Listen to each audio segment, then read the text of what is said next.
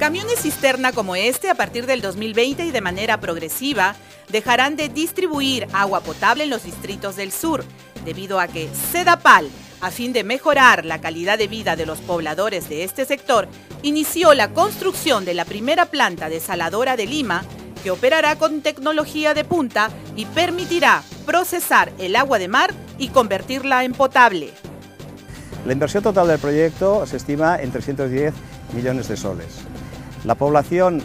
que se va a ver beneficiada por todo este proyecto, los cuatro distritos antes mencionados de Punta Hermosa, Punta Negra, San Bartolo y Santa María. El proyecto de Provisur surge de la necesidad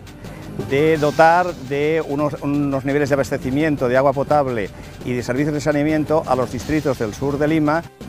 Jorge Villalta, jefe de supervisión de obra de consorcio Aquamed y Aquamed, nos explica el innovador proceso de potabilización que se realizará en estas 6 hectáreas de terreno, donde se construye la planta desaladora. Esta planta, como hemos comentado, consta de dos, de dos partes, una que corresponde al tratamiento de potabilización y desalación de agua de mar.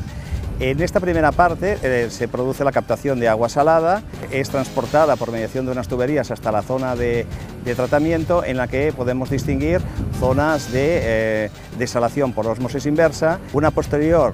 eh, mineralización y potabilización mediante desinfección con hipoclorito sódico, obteniendo ya un agua con las características propias de un agua potable.